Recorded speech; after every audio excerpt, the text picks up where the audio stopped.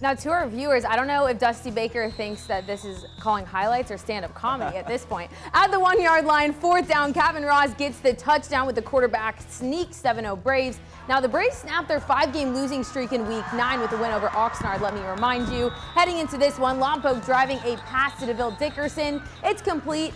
Then Rudy Elizondo gets the ball into the end zone. It's 14-0 Braves, and the Chargers punting, but the snap was high and then dropped allowing Isaac Velasquez to scoop up the ball and into the end zone for six, and it's 21-0 Braves. Scoop in score right there.